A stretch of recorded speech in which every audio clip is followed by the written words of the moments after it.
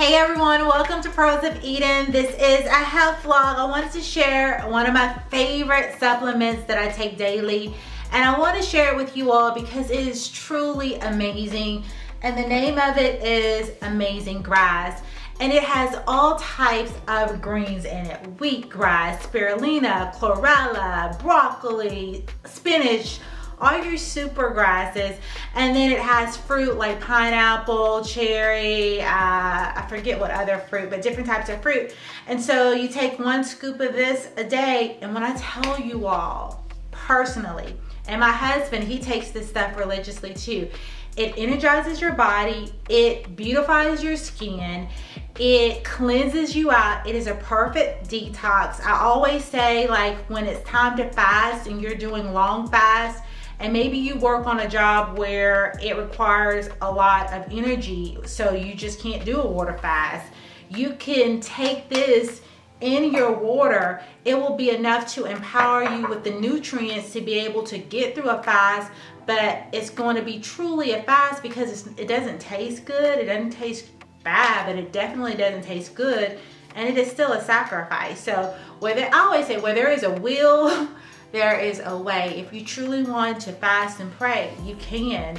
Um, so especially for people who are on medication, I always um, recommend doing this.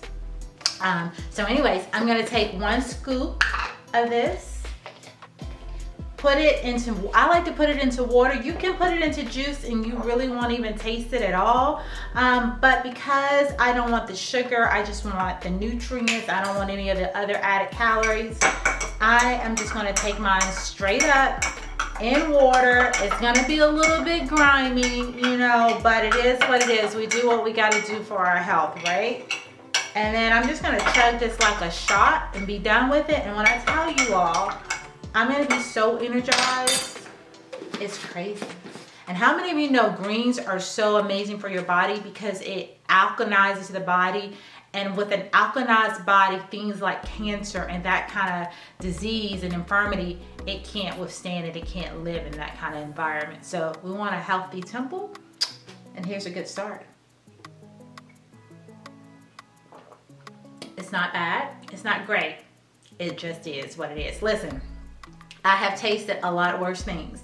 If any of you have tried spirulina, you know what I mean. It tastes like death. It tastes like something I, not, is it spirulina that tastes like that? No, it's something else. It's not spirulina. Let me think.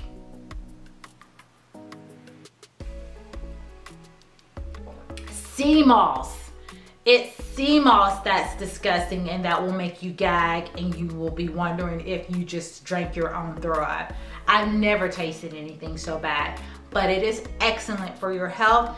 I have to put that in a smoothie or I take it in a capsule. There's no way I could drink that stuff straight up. It's disgusting. Spirulina is fine. You can take that straight up like this because this is basically spirulina, wheatgrass, but that's sea moss in the comment section if you know what I'm talking about. That sea moss is on a whole nother level. My husband, who can take anything and gush it down, he had that and he literally, he, he just spit it out. He couldn't even, he couldn't bear it. So we had to put it in like a smoothie. That stuff is gangsta. Like my husband would be done with this, but I can't. I have to take it in like small gulps. But when you take it straight up like this in water, instead of putting it in a smoothie, I feel as though, though it goes into your bloodstream right away. And like even now, I can feel a kickstart in my energy. So a lot of people, you know, they always think about skincare. What do you do to make your skin youthful, glowy? Um, and one of the things is yes, skincare is important and I've done a video about the skincare products I use, but really you cannot outdo your diet. Like whatever you eat, whatever you drinking lots of water, staying hydrated because the skin is an organ, all of those things are gonna help to beautify your skin and make it clear and glowy from the inside out. The skincare is just extra, to be quite honest. It's all about drinking water, eating your greens, a healthy diet, cutting the sugars out. I know nobody wants to hear that, but cutting sugar out of your diet is going to make the skin more resilient, youthful. Yeah, I know it sucks, right? But the good thing is when you cut sugar out of your diet, you don't miss it. I have a book called The Sugar Blues and it's phenomenal because it talks about what sugar does to your body and how it's more addictive than cocaine. And once you get it out of your system, you truly don't crave it. And it's the truth. But the moment you go back to sugar, not even the first day, but like the second or third hit, it's a wrap. Now you are hooked on sugar and you're like looking for your next sweet treat, looking for something sweet, and then you have to start the whole detox process all over again, which is why I love keto because it really cleanses the system out. It is a game changer, but I like healthy keto. I don't subscribe to the keto where you see people doing all the ranch and all of the bacon and cheeses and all that dairy because that clogs the artery. You still have to use wisdom and be smart. Yeah, you can do those things, but it's not the best for you. I like to do a healthier keto where I do balsamic and vinaigrettes for my salads. I do not eat a whole bunch of bacon, though it's permissible. It is not the best thing to do unless you want to spike your cholesterol.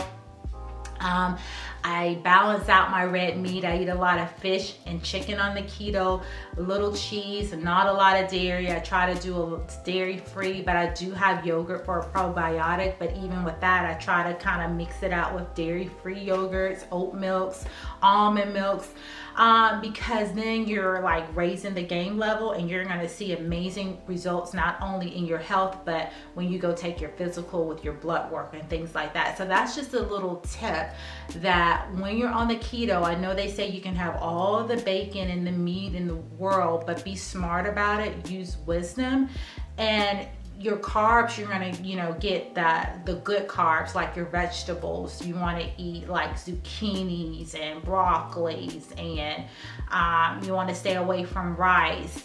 You want to eat things that are going to be nutrient dense um, but your body's to benefit from it so a lot of greens lots of vegetables you don't have to go without vegetables. I know people do that carnivore diet. It's just not to me smart. It's not a real uh, healthy way of living. It's not something you could do long term. I just don't think it's beneficial. Our body needs vegetables. Our bodies thrive. They love vegetables and fruits. Why would you exit out that food group? To me, that doesn't make sense. So you gotta do what works for you, but I am a proponent of a more balanced keto diet that stays away from the bacon and the ranch.